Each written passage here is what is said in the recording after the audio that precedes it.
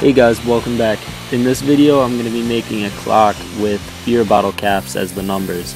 And I don't know where I first saw this idea, but I'm going to see if I can try to make it.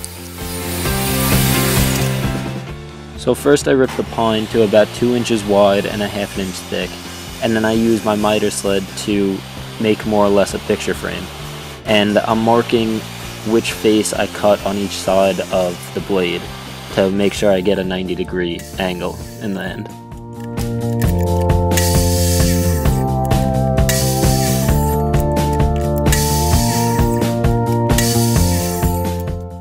I'm using a half inch straight bit to route out a groove so that the clock face could sit into.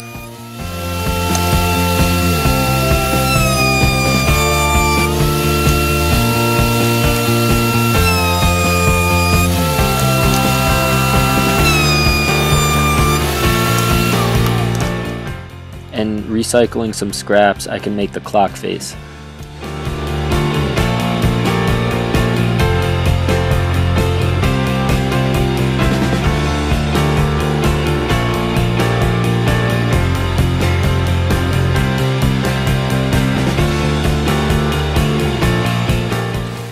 The next day after the glue was dry, I cut it to 10 and a half inches square. This doesn't really matter what size it is, it all depends on how big you make the frame.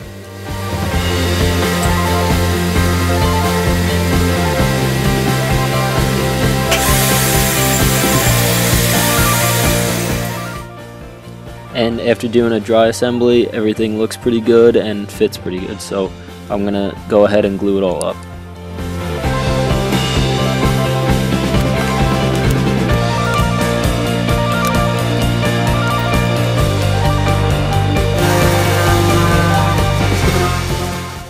Next step was to countersink the clock mechanism into the back using a Forstner bit.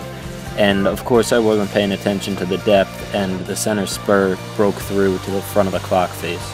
So after a lot of cursing and screaming, I threw that piece out and I made a completely new frame and clock face.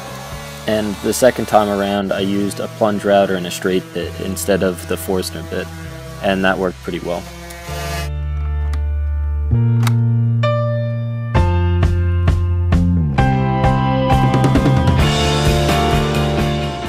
I'm using a stain and polyurethane mix and I'm putting it on heavy with a foam brush and then wiping it off. So you could kind of see the grain of the wood and it kind of gives it a rustic feel. I cut out 12 small little squares of wood and drilled a hole in the center of it.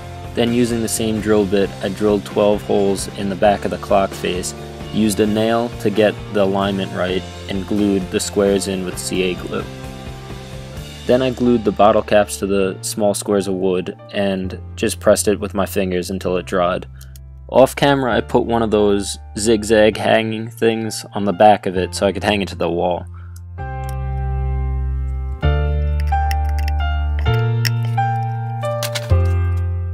As frustrating as this project was to rebuild the whole clock frame and the face and everything, I really enjoyed it because I got to reuse some old bottle caps that I collected when I was a kid, and I really liked how it came out.